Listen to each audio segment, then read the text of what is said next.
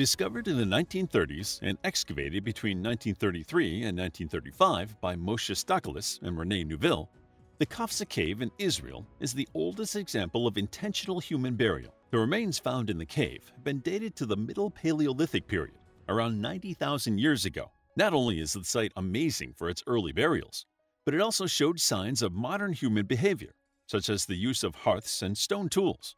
The cave contains bone fragments of around 27 people including eight partial skeletons and at least two that are completely intact. Most of the human remains appear to have been buried deliberately, which is a distinct indicator of modern human behavior.